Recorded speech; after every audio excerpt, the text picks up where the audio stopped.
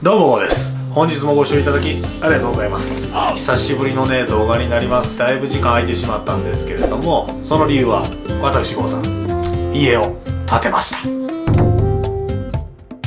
以前住んでた家は場所的にはねかなり便利やったんですけれども外観や間取りなどに少し不満もありました。なので今回はですね土地選びから全て奥様と相談して自分たち好みの家を建てることにしました。というわけで今回はこの新居完成までの道のりと簡単ですが我が家の紹介もしてみたいと思います。それでは早速ですが土地が決まってから家が建つまでをダイジェストでお送りさせていただきます。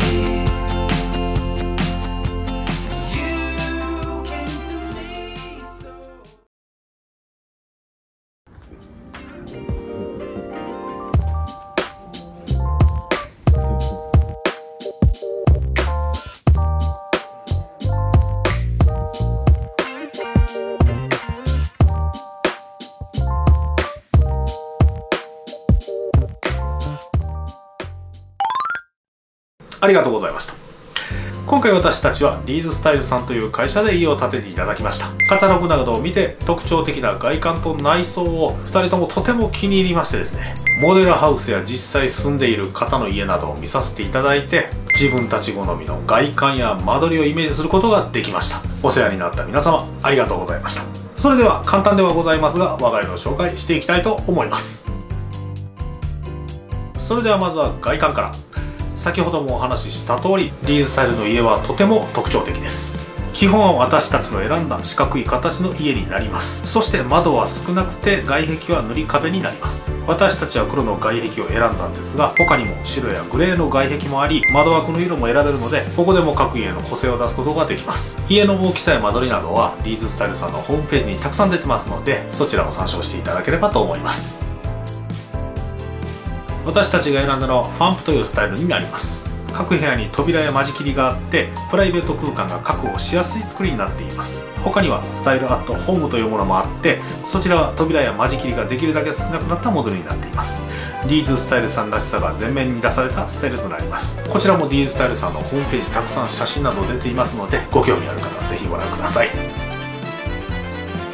我が家はですね 3.75×3.75 プラス離れという間取りになります。まだ片付いてないところもありますんで全部をね映すことはできないんですけれどもその中でもお見せできる範囲をご紹介したいと思います。それではせっかくなんでこのね撮影部屋から。撮影部屋といってもね本来ここはウォークインクローゼットになるはずやったんですけれども収納がね意外と取れたんですよ。うちの家の場合はね。なのでここは、まあ、あの撮影部屋兼趣味の部屋ということにしました、まあ、趣味の部屋と言いましても以前の家から持ってきたものがほとんどなんですがうまいこと全体的に収まりました。この今座ってるソファーも実はソファーベッドになりますんでいざという時はこちらをゲストルームとして使うことも可能です。リーズスタイルさんの家の代名詞と言っても過言ではない土間があります。玄関の扉を開けると土間が広がります。え我が家の土間は収納などをねたくさんつけてしまったのでこのサイズ感なんですけれども土間好きな人はもっと大きく取ることも可能です。我が家には犬が2匹いるのでこの広い土間はとても重宝します。また冬場にはこのようにアウトドア用のストーブなんかを置いてみることで一段とおしゃれ空間になります。ちょっとした DIY などでしたらあの土間で作業することも可能です。そして土間から見えるのがリビングダイニングになります。玄関を開けるといきなりリビングが見えるのと思われる方いらっしゃるかもしれませんが実際暮らしてみるとね全く気になりません。いきなり玄関を開けられることもありませんし配達なんかもね最近は置き配などがメインになっています。そしてうちの場合は宅配ボックスも付けてありますので今のところ何ら問題はありません。買い物してきた時の荷物もね下ろしたりもしやすいですし変に間仕切りが多いとね部屋全体が狭く見えてしまうので今のこの開放的なリビングダイニングとても気に入っています。キッチンはあえてカウンターにしませんでした。カウンターキッチンにすることでスペースに制約ができてしまうのと前の家で使っていたアイランドキッチン動画とかにもよく出てきたアイランドキッチンがあるんですけれどもそちらを使いたくて壁付けのキッチンにしました。ひょっとしたらそのうちここから料理動画なども出すかもしれません。離れとしてこちら第2のリビングになります。ここではね食事などをとることなくゆっくりとテレビを見ながらお酒を飲んだりくつろいだりするスペースになります。庭はこんな感じです。ドッグラン的に使いたかったのであえてウッドデッキなどはつけていません。将来的にはねつけるかもしれないんですけれども今のところこの開放的な庭で、まあ、いろんなことをできればなと考えてます。ちなみにアリスはこのスペースとても気に入ってるようです。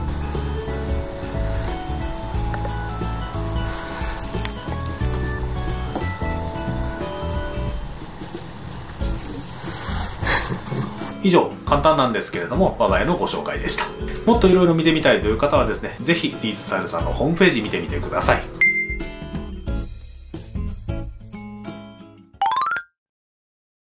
はいというわけで今回は郷さん引っ越しましたという動画になりました。この動画面白かったよ。役に役に立つんから役に立ったよという方いらっしゃいましたらグッドボタンまたチャンネル登録の方もよろしくお願いいたします。それではまた次の動画でお会いいたしましょう。郷さんのみこでした。